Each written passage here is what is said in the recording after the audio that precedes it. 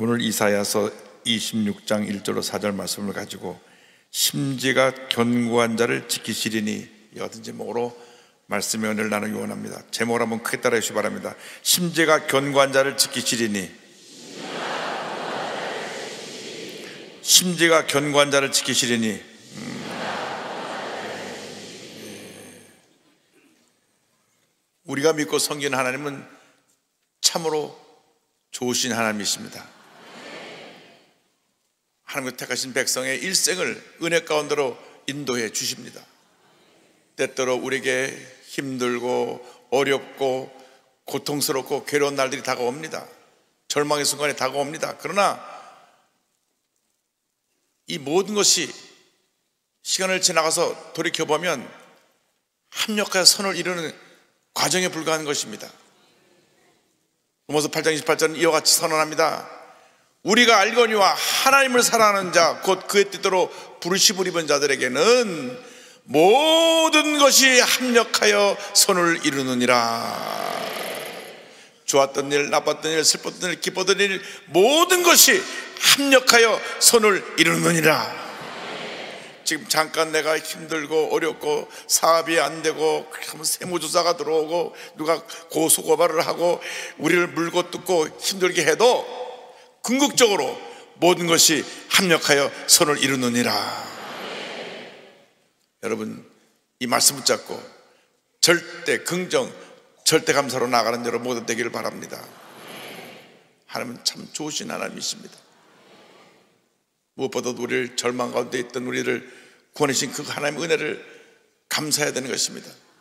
이사 26장은 주님 앞에 드리는 승리의 찬양이요 감사의 찬양인 것입니다. 우리를 구원해 주신 하나님에 대해서 이와 같이 26장 1절은 설명합니다. 그날에 유다 땅에서 이 노래를 부르리라 우리에게는 견고한 성읍이 있으며 야외께서 구원을 성벽과 외벽으로 삼으시리로다. 하나님이 우리 구원이 되어 주셔서 성벽이 성을 둘러싸고 있는 것처럼 우리를 구원의 은혜로 둘러싸시고 우리를 놀라운 은혜와 축복 가운데로 인도해 주시는 것입니다. 이스라엘 백성들이 하나님의 가장 기뻐하지 아니하시는 우상 숭배를 하고 죄짓고 불의하고 타락해서 심판을 받아 바벨론에 포로로 끌려갔습니다. 그렇게 그들은 자존심이 강한 사람들입니다. 우리는 하나님의 사람들이다. 하나님 우리를 택해서 위대한 민족으로 우리를 세우셨다. 그래서 이스라엘 사람들은 자기 이방 사람들에 대해서 이후대 이방 사람들에 대해서는 아예 자기보다 격이 낮은 사람들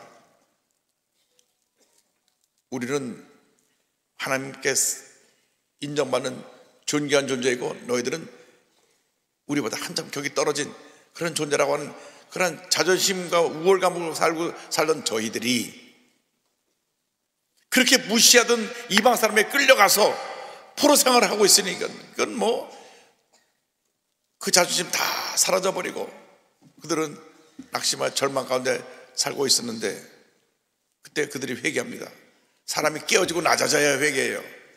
잘때때 회개하는 법이 별로 찾아보기 힘듭니다. 완전히 낮춰 놓으시니까 저희들이 손을 듭니다. 다시는 우리가 우상 숭배하지 않겠습니다. 우리를 불쌍히 여겨 주옵소서. 불쌍히 여겨 주옵소서. 그때 이사야서를 통해서 축복과 희망의 메시지를 전해 주십니다. 이사야 60장 11절, 18절 20절입니다. 다시는 강포한 일이 내 땅에 들리지 않을 것이요 황폐와 파멸이 내 국경 안에 다시 없을 것이며 내가 내 성벽을 구원이라 내 성문을 찬송이라 부를 것이라. 다시는 낮에 해가 내 빛이 되지 아니하며 달도 내게 빛을 비추지 않을 것이요. 오직 야외가 내게 영원한 빛이 되며 내 하나님이 내 영광이 되리니 다시는 내 해가 지지 아니하며 내 달이 물러가지 아니할 것은 야외가 내 영원한 빛이 되고 내 슬픔의 날이 끝날 것임이라. 놀라운 축복 말씀을 주십니다 이스라엘 백성들이 포로 끌려가 인간의 산을, 삶을 사는 그 비참한 생활을 다시는 하지 않게 될 것이라고 말씀합니다. 그리고 하나님께서 그들의 영원한 빛이 될 것이며 슬픔의 날은 끝나게 될 것이라고 말씀합니다. 하나님이 우리의 영원한 빛이 되어서 우리의 슬픔의 날이 끝날 것입니다. 고통의 날이 끝날 것입니다. 절망의 날이 끝날 것입니다. 하나님의 약속입니다. 우리가 하나님 앞에 범죄하여 기쁨으로 주며 섬기지 못해서 내 뜻과 내 것도 살다가 심판을 받아 여러 가지 어려움과 문제 속에 우리가 고통 가운데 지낼 수 있지만은 회개하고 주에 돌아나올 때 주님께서 우리의 빛이 되어 주시고 우리의 슬픔의 날이 끝날 것입니다. 절망의 날이 끝날 것입니다. 이 하나님의 약속대로 이스라엘 백성을 갑자기 하나님께서 바벨론의 포로에서 풀어주셨습니다. 그래서 시편에 이 놀라운 일에서 꿈꾸는 것 같다고 고백을 합니다. 시편 126편 1절로 3절입니다. 야외께서 시온의 포로를 돌려 보내실 때에 우리는 꿈꾸는 것 같았도다. 그때 우리의 입에는 웃음이 가득하고 우리 혀에는 찬양이 차솟도다. 그때 문나라 가운데서 말하기를 야외께서 그들을 위하여 큰 일을 행하셨다 하였도다. 야외께서 우리를 위하여 큰 일을 행하셨으니 우리는 기쁘도다. 끝이 보이지 않던 포로 생활 속에서 갑자기 하나님께서 저들을 구원시켜 주시니까 우리는 꿈꾸는 것 같다고 저들은 고백합니다. 우리가 일제 35년 동안 고난을 나갈 때 언제 해방이 다올지 몰랐는데 갑자기 어느 날 제2차 세계는 끝나고 우리에게 해방이 선물로 주어진 것입니다. 모두가 뛰어쳐나와서 태극기를 흔들며 대한독립 만세 만세 만세 만세 만세를 외쳤습니다. 꿈꾸는 것 같은 일이 일어난 것입니다. 그런지 우리의 힘으로 된 것이 아니라 하나님께서 역사에 주관다 하신 하나님께서 어느 날 갑자기 그를 행하신 것입니다. 이 놀라운 일에 대해서 우리는 감사하고 또 감사하고 또 감사해야 되는 것입니다. 하나님이 함께 하시기 때문에 어떤 대적도 우리를 무너뜨릴 수 없습니다.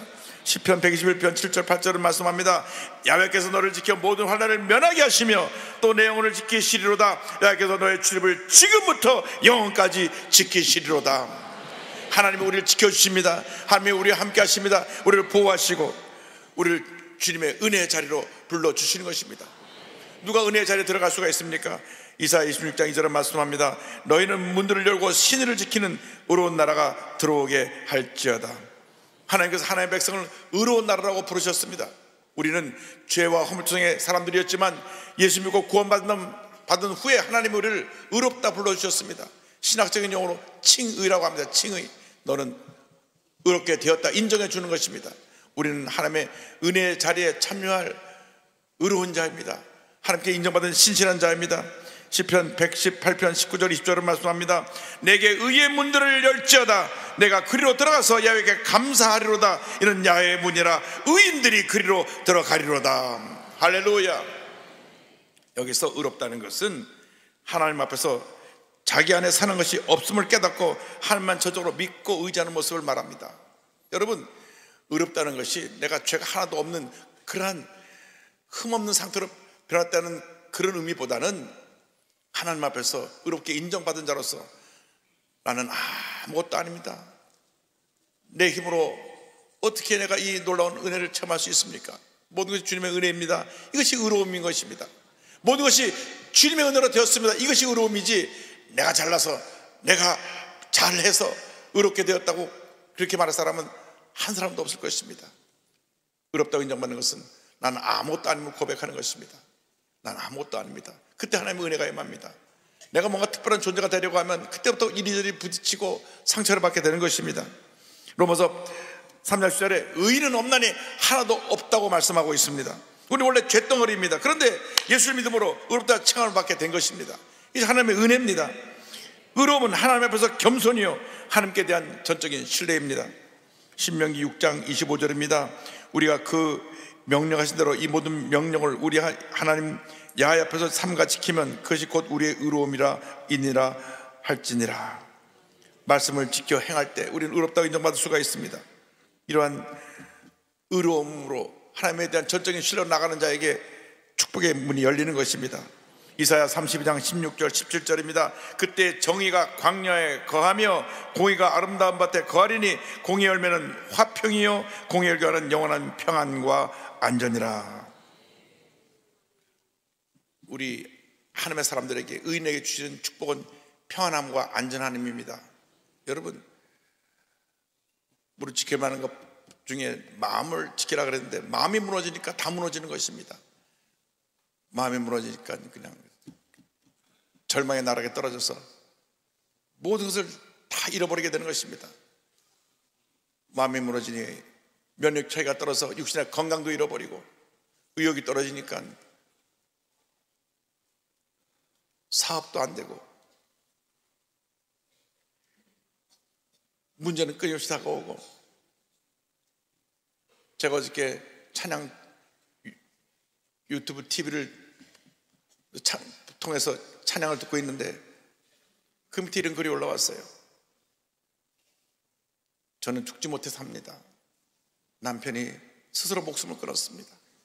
하루하루 사는 것이 지옥입니다. 나도 남편 따라 죽고 싶은데 아이가 있습니다. 매일매일 눈물의 시간이요, 고통이요, 괴로움이요, 절망입니다. 그런데 제가 이 찬양을 듣고 위로함을 받습니다. 여러분, 절망일 때 주님 앞에 나오시기 바랍니다. 주님 앞에 나와 기도하시기 바랍니다. 찬양하시기 바랍니다. 찬양을 듣고 힘을 얻으시기 바랍니다. 그러면 우리를 절망에서 건져 주실 것입니다. 우리 하나님께 택함을 받아서 하나님의 축복의 자리에 들어가게 되는 것입니다. 10편, 15편 1절로 3절을 말씀합니다. 야여 주의 장막에 머무를 자 누구 오며 주의 성산에 사는 자 누구 오니까 정직하게 행하며 공의를 실천하며 그의 마음에 진실을 말하며 그의 혀로 남을 허물하지 아니하고 그의 이웃에게 악을 행하지 아니하며 그의 이웃을 비방하지 아니하며 어떤 의로운 사람들이 하나님의 축복의 자리에 거할 수 있다고 성경은 말씀하고 있는 것입니다. 주님 앞에 신실하고 의롭고 하나님께 인정받는 그런 모습으로 살아가는 여러분 모두가 되기를 바랍니다. 그리고 심지가 견고한 자에게 평안함을 준다 그랬습니다. 심지가 견고하다는 것은 한번 믿음을 정해놓고는 왔다리 갔다리 하지 않는 것입니다. 기분이 좋으면 하, 목숨 바쳐 주인을 하겠습니다. 기분이 나, 나쁘면 에이 다 때려치고 간돌냅니다. 이것은 심지가 견고하지 않은 것입니다. 여러분 가장 큰 문제가 무엇인지 아십니까? 신앙생활을 하는데 감정에 따라 움직이는 것입니다. 감정에 따라서. 내 감정이 좋으면 기쁘면 그냥 내 것 다 그냥 주님께 바쳐서 헌신할 것 같은 그런 마음으로 섬기다가도 감정이 상하면 모든 거 다 때려치고 나나 이제 다시는 이거 안 한다고 뒤돌아 쓰는 것이 우리들의 모습입니다. 우리들이 그렇습니다. 여러분 감정으로 신앙생활 하면 안 됩니다. 말씀으로 신앙생활 해야 되는 것입니다. 기도로 신앙생활을 해야 되는 것입니다. 감정이 필요할 때는 언제냐? 은혜 받을 때 기뻐하는 것, 감사하는 것, 그거 필요해요. 그러나 일을 할 때 감정이 들어가 가지고 내가 기분 나빠 가지고 또 기분이 좋아 갖고 그 일을 좌지우지하게 되면 큰 어려움에 빠져드는 것을 잊지 않게 되기를 바랍니다. 시편 이사야 26장 3절 이렇게 말씀합니다. 주께서 심지가 견고한 자를 평강하고 평강하도록 지키시리니 지키시리니 이는 그가 주를 신뢰함이니이다. 심지가 견고하다는 것은 전적으로 주님만 믿고 의지하고 흔들리지 않은 믿음으로 살아가는 것을 말씀합니다. 10편 120편 112편 6절 8절입니다. 그는 영원히 흔들리지 아니하며 의인은 영원히 기억되리로다 그의 마음이 견고하여 두려워하지 아니할 것이라 그의 대적들이 받는 복을 마침내 보리로다 흔들리지 않는다는 것입니다 흔들리지 않는 것입니다 아무리 힘들고 어려워도 흔들리지 않아야 되는 것입니다 믿음을 지켜야 되는 것입니다.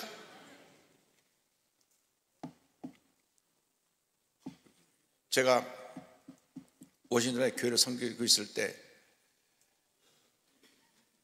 저희 안수자님 중에 한 분이 한국에서 파견된 외교관이었습니다. 외교관인데 정보를 담당하는 정보계통의 외교관입니다. 그, 그래서 우리나라 국정원에 파견된 참사관님이신데 제가 그분에게 놀라운 얘기를 들었습니다. 우리 한국이 60년대, 70년대 간첩을 붙잡은 다 감옥에 갑니다. 사형입니다, 사형. 그런데 70년대 초에 우리 교회 아주 열심히 있는 조장이 계셨는데 이분이 얼마나 그 구역과 그 조, 조, 조를 부흥시켰는지 한 150명 이상이 모입니다. 조단합 예배를 드리면 150명 모여요. 다 그분이 전도한 분들입니다. 얼마나 사랑으로 서로를 섬기고 뭐 필요한 것은 다 나눠주고 누가 어렵고 힘들면 또 가서 기도해드리고 그냥 애경사를 같이 하는 큰 훌륭한 조장님 또 부부가 섬기는 분이었는데 어느 날 남, 남편이 간접 혐의로 붙잡혀 갔어요. 그러니까 그 모든 150명 그분에게 사랑받고 전도받은 분들이 어쩐지 그 잘해주는 게 수상하더라고. 저 사람들이 우리를 간접으로 포섭하려고 우리 같은 잘해주구나. 막.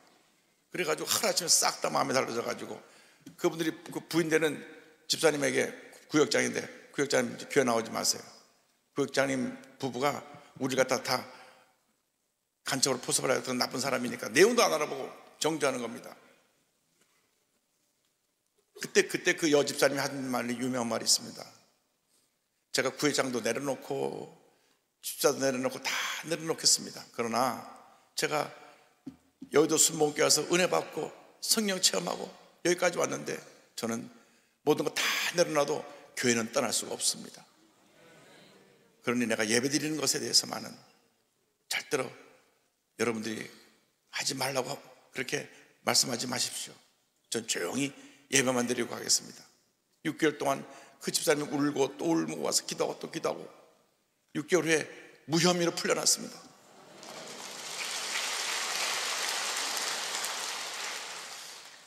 알고 보니까 고정간첩이 잡혔는데 고정간첩이 혼자 자기가 사형당하는 게 억울했는지 그 수첩에 자기가 만났던 사람 이름을 다 적어놨는데 이 조장님이 한 10년 전에 어디선가 잠깐 만났던 거예요. 그 이름을 적어놓은, 다 적어놓고 적어놓은 사람 300몇 명이 다 잡혀 들어가서 다 간첩병 받고 6개월 동안 교사 받고 나서 300명 대부분이 다 풀려났는데 그 중에 한 분이 우리 교회 그 남, 남자 그 집사님 조장이었습니다.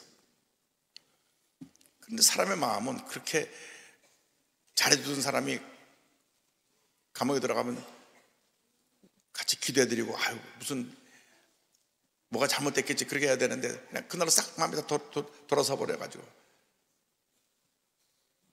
그렇게 자주 가깝게 지내던 분이 얼굴 돌리고 인사도 안 하고 연락도 없고. 무혐의로 풀나니까 그때 와서 또 다시 와서 아이고 조장님 있을 요즘 지역장이죠 지역장님 사람 마음이 간사하죠. 근데 그 두 분, 네 분이 믿음을 지킨 겁니다.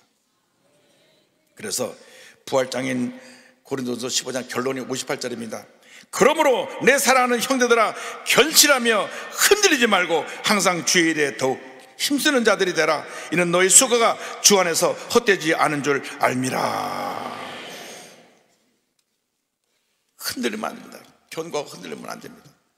그러면 주님이 평안함을 주십니다. 10편 408절입니다. 내가 평안히 눕고 자기도 하리니 나를 안전히 살게 하시는 이는 오직 야외이시니이다. 이상 그 누구도 빼앗아갈 수 없는 주님의 평안이 여러분에게 임하기를 주님으로 축원합니다. 주님 친히 말씀하셨습니다. 요한복음 14장 27절입니다. 평안을 너에게 끼치노니 곧 나의 평안을 너에게 주노라. 내가 너에게 주는 것은 세상에 주는 것과 같이 아니하니라. 너희는 마음에 근심하지도 말고 두려워하지도 말라. 마음에 평안함을 가지고 전적으로 주님만 믿고 나가는 여러분 되기를 바랍니다. 이사 26장 4절 오늘 말씀의 결론입니다. 너희는 야외를 영원히 신뢰하라. 주 야외는 영원한 반석이심이로다. 할렐루야. 아무리 힘들고 어려워도 내 삶에 환란이 다가오고 질병이 찾아오고 사업이 내리막길을 걷고 많은 문제가 있어도 절대로 낙심하지 말고 포기하지 말고 주님만 믿고 오자고 나가면 모든 것이 합력과 선을 이루는 축복을 반드시 받게 될 줄로 믿습니다.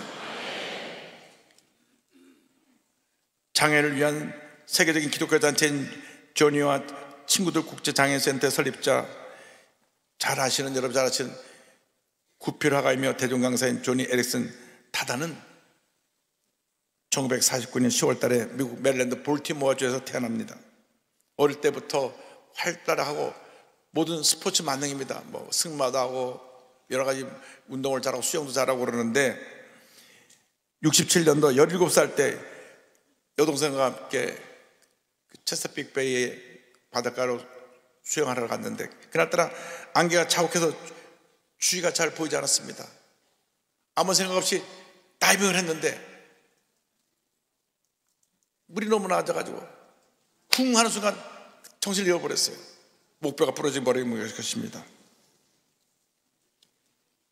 그래 병원에 실려갔는데 목 아래는 아무런 감각이 없습니다. 중환자실에 들어갔는데 의사가 말하기를 평생 목 안에를 쓸 수 없는 마비된 상태로 살아가야 된다고 말했습니다. 꿈 많고 생애바랄 그때 모든 걸 다 잃어버린 것 같은 그러한 절망에 처하게 된 것입니다. 꼼짝 못한 채 침대에 누워있으니까 이 등이 찌물어서 욕창이 생겨납니다. 너무나 통증이 심해서 지동자를 계속 먹어야 되는데 잠을 자다가도 통증 때문에 또 잠을 깹니다. 너무 힘들어서 친구한테 자기를 좀 죽여달라 그랬습니다. 왜냐면 죽고 싶어도 모든 지가 죽을 수가 없어요. 마음에 너무나 고통이 심했습니다. 이렇게 살아 못하나? 하나님이 살아계시다면 왜 내게 이런 일이 일어났을까? 처음 2년 동안은 눈물의 시간을 보냈습니다. 그런데 어느 날 친구가 찾아왔어요. 믿음이 아주 좋은 친구가 이런 말을 했습니다. 조니, 전신 마비된 사람은 너뿐만이 아니야. 예수님도 전신 마비가 되셨어. 생각해봐.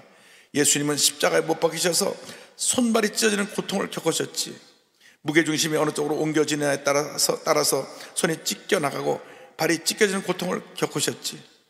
예수님이 몸의 자세를 바꾸자 하셔도 조금도 바꾸실 수가 없었지. 예수님도 너와 똑같이 전신마비가 되셨어. 그 예수님께서 내가 당하는 고통을 아신, 내가 당하는 고통을 아신단다. 이 말이 큰 위로가 되었습니다. 예수님 십자가달에서 두 손과 두 발에 못이 박혀서 피 흘리며 돌아가실 때 꼼짝도 못하고 고통 속에 돌아가셨는데 그때로부터 주님이 나의 고난을 고통을 이해하고 계시구나. 보통 사람들이 하나님과 함께 더 잘 되고 박수갈채 받고 높은 자리에 올라가고 하는 그러한 생각을 하는데 하나님은 나를 가장 낮춰놓으셔서 가장 밑바닥으로 내려가는 그 경험 속에서 주님을 만난 것입니다. 여러분 내려가는 경험을 통해서도 주님을 만날 수 있습니다. 그러면 더 큰 은혜가 임할 줄로 믿습니다. 그래서 1979년도에 장애인들을 위한 선교단체인 조니와 친구들을 설립하고 전 세계 장애인들을 돕는데 이 단체를 통해서 무려 3만 8천 개 윌체어를 나눠 줬고요. 그가 33살이 됐을 때 81년에 아주 믿음 좋은 남편 켄을 만납니다. 이 켄이 교사였는데 그 교직을 다 내려놓고 부인의 사역을 돕기 위해서 결혼을 했어. 그 사역을 돕는데 하나님이 이 조니라고 하는 분을 크게 쓰시기 위해서 또 연단하시는데 2016년에 6월 달에 유방암을 진단을 받고 5년 동안 유방암과 싸우면서 이제 치료받았다, 다 낫다 했는데 3년 후에 또 재발이 됩니다. 그런데 그 재발됐을 때 고백을 들어보세요. 의사로부터 기대하지 않았던 소식을 들었을 때 저는 긴장을 풀고 웃었습니다. 전능하신 하나님께서 나를 사랑하시고 당신의 손으로 나를 꽉 잡고 계신다는 사실을 알기 때문입니다. 할렐루야. 그 고난 중에 다시 일어서는 그 깊은 영적 여정을 담은 책, 조니 에릭슨 타다의 희망 노트라는 책을 그가 써서 출간하게 되었고, 자신이 그 장애를 극복하는 그 믿음의 과정을 그가 고백한 책들이 40권이 넘어서 많은 사람들이 큰 은혜를 주고 있습니다. 대표적인 저서로는 하나님의 눈물, 하나님 나를 특별하게 만드셨어요. 한 걸음 더라고 하는 책이 있습니다. 여러분, 전신밥의 상태지만 지금도 입에 펜을 물고 그림을 그리면서 하나님의 영광을 위해서 헌신하고 있고 또 사람들에게 간증을 하고 있습니다. 수많은 사람들이 젊은 분들이 이 조언을 통해서 감동을 받고 샘을 얻게 되었습니다. 이런 고백을 합니다. 하나님은 나를 치유하시는 하는 대신 나를 붙잡아 주는 쪽을 택하셨다. 고통이 심할수록 하나님은 나를 더 꼭 안아 주신다. 하나님의 주권 안에서 안식하면 끔찍한 고난과 입이 떡 부러질 정도의 고통에 직면만 한다 해도 흔들리지 않는 심오한 기쁨을 갈 수 있게 된다. 할렐루야. 하늘께 영을 돌립니다. 이분은 심지어가 견고한 분입니다. 심지어가 견고했기 때문에 마음의 평안함을 가지고 모든 어려움을 이기고 이렇게 위대한 역사를 지금도 일어나고 있는 것입니다. 여러분 어떤 문제 가운데 오셨습니까? 어떤 어려움 가운데 오셨습니까? 주님을 바라보시기 바랍니다. 믿음을 더 견고하시기 바랍니다. 열대로 흔들리지 말고 약속 말씀 붙잡고 믿음으로 전진 또 전진 또 전진하여 위대한 한 역사를 이루는 주님의 축복받은 자녀들이 다 되시기를 주님의 이름으로 축원합니다. 축원합니다.